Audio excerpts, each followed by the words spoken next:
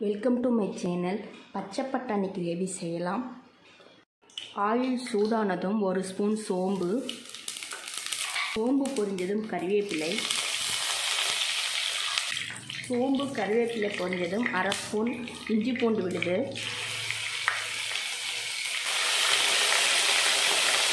சின்ன சின்னதாக கட் பண்ணி வச்சுருக்கிற பெரிய வெங்காயம் மூணு சேர்த்தலாம் கட் பண்ணி வச்சுருக்க தக்காளி ஒரு கப்பு.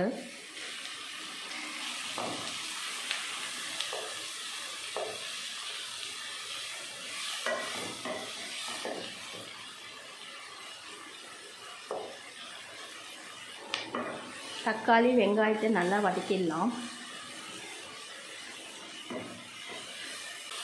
தக்காளி வெங்காயம் நல்லா வதங்கிடுச்சு. அரை ஸ்பூன் மஞ்சள் தூள் ஒரு ஸ்பூன் மிளகாய் தூள் ஒன்றரை ஸ்பூன் தனியாத்தூள்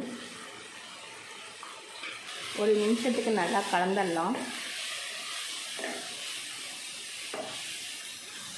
ஊற வச்சு வேக வச்சு வச்சுருக்கிற பச்சை பட்டாணி சேர்த்துடலாம்.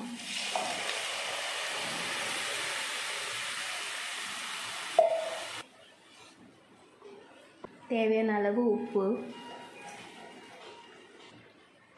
அரிசியாக தேங்காய் விழுது ஒரு கப்பு சேர்த்தலாம் பட்டாணி வேக வச்ச தண்ணியை சேர்த்தலாம்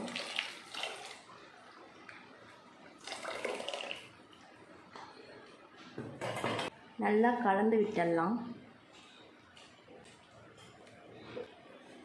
நல்லா கலந்து விட்டுட்டு ஒரு மூணு நிமிஷத்துக்கு கொதிக்க வச்சிடலாம்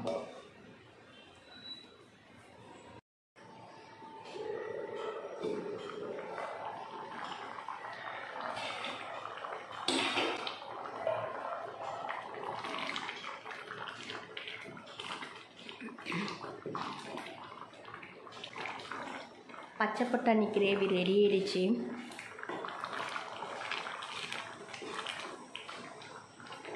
இது போல் ட்ரை பண்ணி பாருங்கள் தேங்க்யூ